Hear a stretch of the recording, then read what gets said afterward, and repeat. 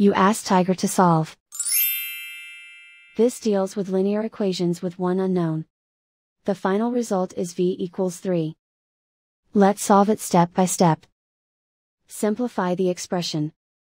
Simplify the arithmetic. Group all constants on the right side of the equation. Subtract 10 from both sides. Simplify the arithmetic.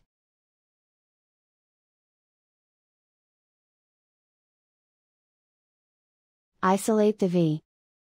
Divide both sides by negative 6. Cancel out the negatives. Simplify the fraction. Cancel out the negatives.